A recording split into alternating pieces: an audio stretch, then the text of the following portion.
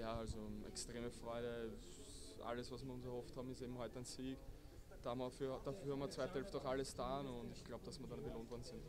Hast du die erste Hälfte war schon irgendwo noch verunsichert, was ist dann zweite Hälfte besser gelaufen?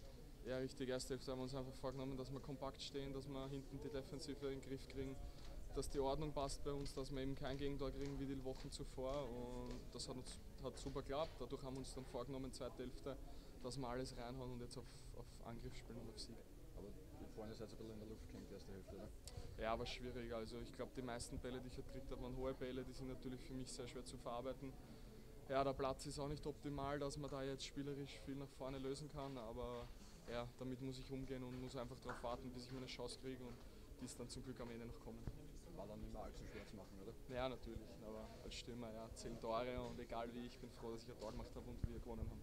Und triffst ja am, wie am Fließband mehr oder weniger. Warum bist, macht dir diese Krise irgendwie nichts aus? Du bist ja, ich konzentriere mich da auf mich. Also ich finde, dass der Druck dazu gehört im Fußball. Das ist wurscht, wo ich gespielt habe, war ein Druck da. Man will einfach alles zeigen in 90 Minuten. Das nehme ich mir Woche für Woche vor. Ich hau alles rein und ja, oft wird man belohnt, oft aber auch nicht. Und im Moment, im Moment schaut es super aus.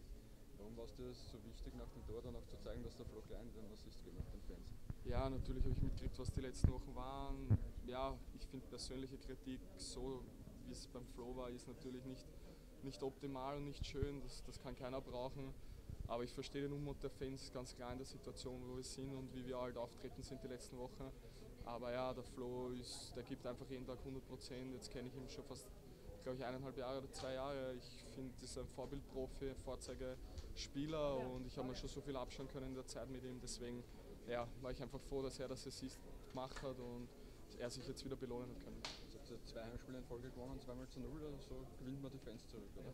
Ja, das hoffe ich, weil wir brauchen die Fans. Wir haben gesehen, zweite Hälfte, wenn sie wieder da sind, was wir dann zeigen, wie wir dann wieder reingehen. Wir ja, bewegen uns mehr, wir laufen mehr, wir kämpfen mehr, es passt dann alles besser und wir brauchen auf jeden Fall die Fans. Seid ihr einen Punkt an Hartberg dran, äh, tut auch gut zu merken, dass dieses obere Playoff schon noch in Reichweite ist.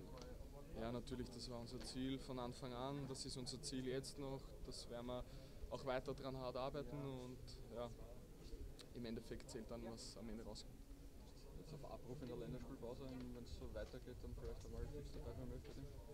Ja, das wäre ein Riesentraum für mich. Das hätte ich mir vor ein paar Jahren nicht einmal noch erträumen können. Jetzt im Moment bin ich gleich zum dritten Mal auf Abruf. Das macht mich unglaublich stolz, das motiviert mich.